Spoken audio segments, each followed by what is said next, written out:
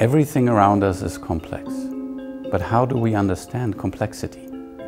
My name is Dirk Brockmann. I'm director of the Center Synergy of Systems and professor for biology of complex systems.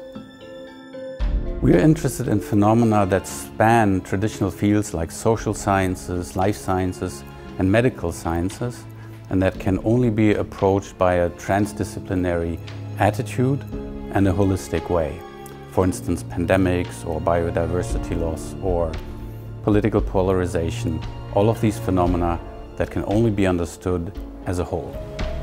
I would like to establish a lighthouse of complexity science at TU Dresden. Hello.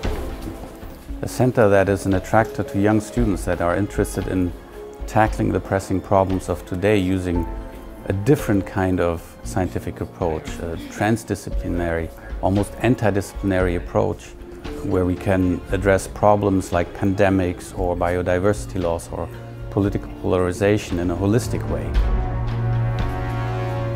Using methods from network science and all of these modern technologies